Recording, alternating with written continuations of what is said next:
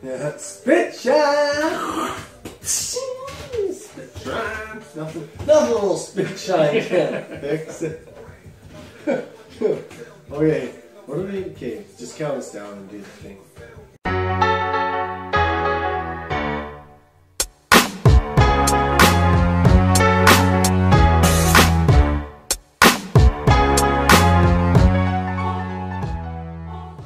Hey, welcome back.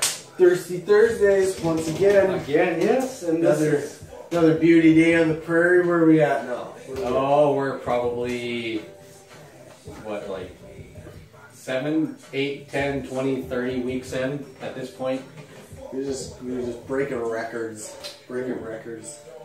But also, harvest season's kicking up. That's, that's something. Yeah, right? a lot, a lot, of, a lot of guys dropping off to do that around these parts. I don't know where everyone else is from, but that's a big deal around here. That's the talk of the town. So harvest is in full swing, and then it started raining. Yeah. So if you're sitting in your shop, not on harvest, Watch- subscri- subscribe and like our video. Subscribe. Because, like, we were, what, week 7, 20, 30 weeks into this thing. Yeah. And our subscribers haven't really jumped up. to Come what we on, shout out to the Cut Knife Unity North Battleford area, you guys. Come on, subscribe and like. Yeah, come on. It takes one click. I help, mean, help us out, help a brother out. We're we need to, one of those signs that we need to stand on a corner and be like, subscribe. and just just to make it very clear, like you know, we are a good cause. We're not trying to I mean, promote we get any shot- kind of bad thing. Uh, like no bad, drugs are bad, very bad. I don't do drugs anymore. I'm gonna make that very clear. This is not a gang thing or drug related, any type of thing. This is just some young guys with a lot of talent that need to focus it on something to get themselves not ending up in trouble. So like that's what we do. So, yeah, we record these videos and you guys are the audience. Great audience, by the Oh, you're a beautiful audience. My, yeah. You guys dress too fine. Yeah, yeah, take take it take one layer Dress it off. down. It's uh, it's not casual Thursday, but it is. Yeah. Uh, you don't have to be snooping. take, keep the underwear on this time, but yeah. with that, What do we got?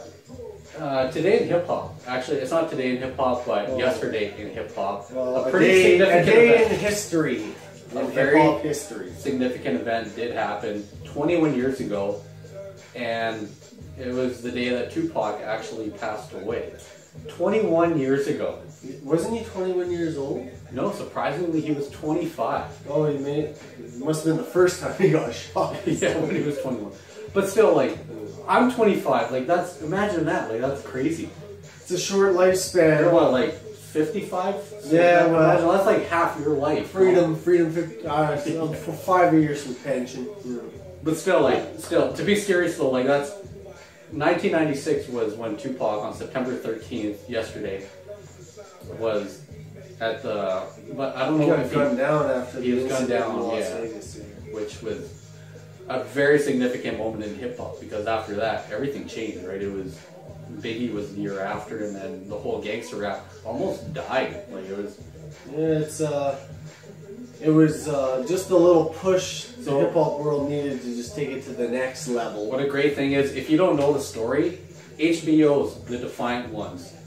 Like they Oh. highlight the whole thing I about. it. highly recommend that. So if you don't know the backstory about it, watch HBO's The Defiant Ones. and it's not you, you need to understand too. It's not just the fine ones. Is not just hip hop. Like No. Jimmy Iovine, a guy who's very like world renowned for the music industry, Biggest big producer. part of Interscope Records, and you're gonna understand him from like working with Bruce Springsteen.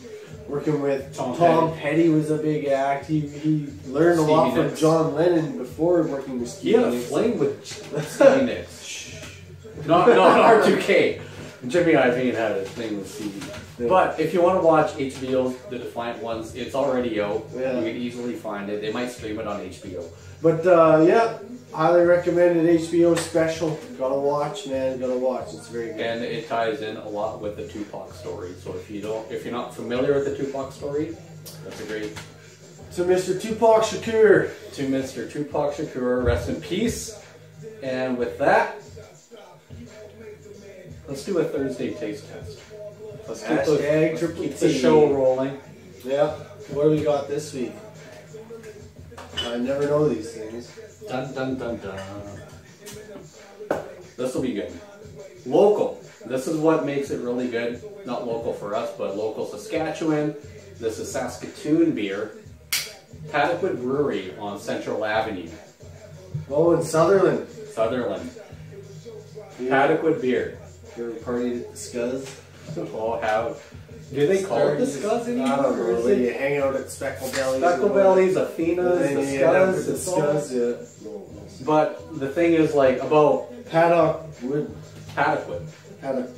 and it's about five blocks south of there, just shy off of uh, Circle Drive. Here's the segue for you. Ooh.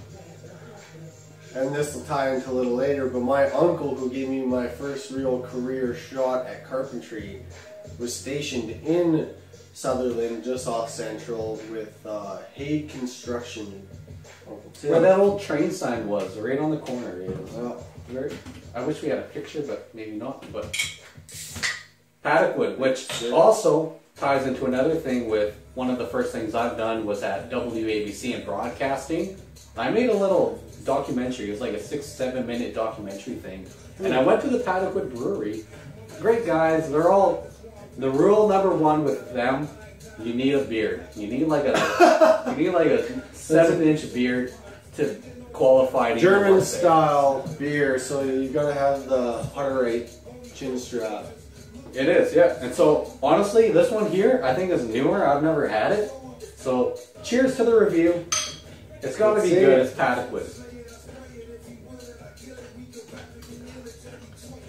Ooh, that's dangerous. That's that's pretty good for a craft beer for Paddockwood and Saskatoon. That's pretty good. Yeah, holy. So we have another little segment that you kind of brought up with our uncle Tim in Saskatoon. Ah, yes, the segue. Is that kind of your first job in construction? That's No, no, no. Or was it let's let's let's do a jobs. Oh yeah, so we're going. Yeah, Let's do a like I like on the job. on the job site. So you were four years old, sweeping chimneys, Whistling a tune, Yeah. you know. cat calling at four years old. No, no, no. No, what is it all? It really all it all stems back to the Waldner driveway. Shout out to Josh Waldner. He'll be a guest eventually, and we've said that many episodes already. someday, Someday. you know, someday.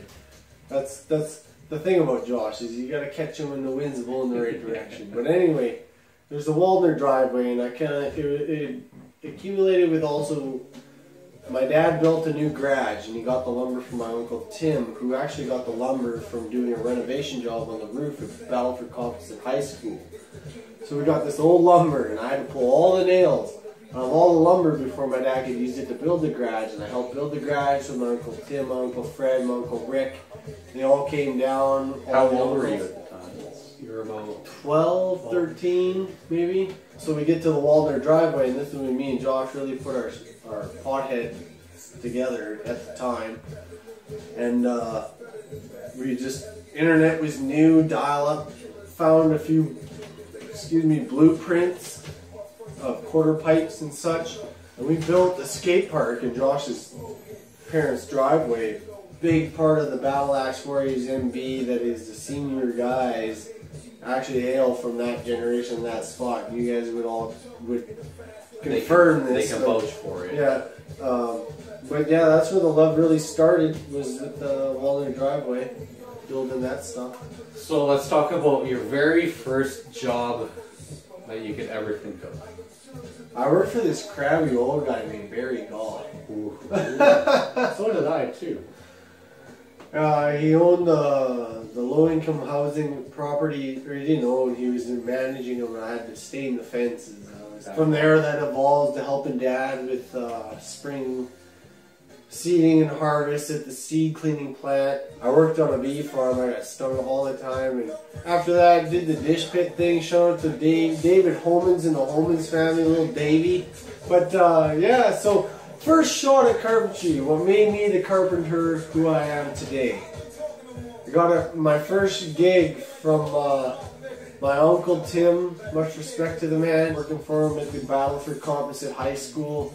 I drive every day, and then I moved in with my uncle Tim for about a month, and then I answered an ad in a newspaper, and I that's when I met Schuler, Tyler Schuler, and I got I left my uncle to start framing houses because I really wanted to just build like frame and because my uncle was a general contractor and I really wanted to just frame like so bad.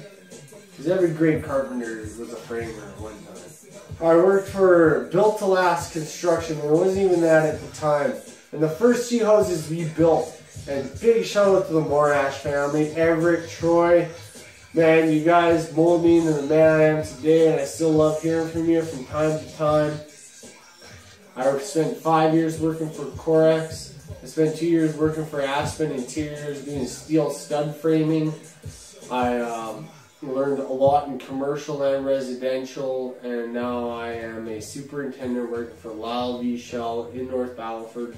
Back home to the place where I actually started out working at the Battleford Com, and now I built the next best thing, which is the B Tech building in North Battleford. Was my first job, which is kind of a building school rec center place for the disabled. And uh, the community came together and funded it. Big shout out to all the contractors in north battleford that helped with that like river city. And i've gotten very close with all those guys. They're a real gr- good group of people. River city i'll back them l7 electric i'll back them they're a very great, respectable company in North Battleford, and of course, Lyle V Shell. So yeah, that's that's the jobs of R2K and why I wear Carhartt and why I am who I am. And there's a little more to know about me. So The more you know. the more you know. I wish we had that graph. yeah, no shit. dude. Or do we? Yeah, I don't know. That's a knockoff. anyway, with that, we have the digital keys DJs, and we name, did that name that tune. We do yeah, do we, that. we rock a wicked name that tune. So we'll do a little that poster thing right there. Boom. And it's the Book digital your wedding DJ. and your Christmas parties today. Staff parties are coming up as well. We, we're very flexible on rates, and you know it's just going to help the cause of what it is that we're doing here, the cause that Battle Axe is doing, and the cause that is the Keys family and what we've done for years. And you've seen in prior episodes how what it is that we do. and We just like that good time. We know music is all we're trying to say. All right, you guys, have a good Thirsty Thursdays and a safe weekend. Much fun.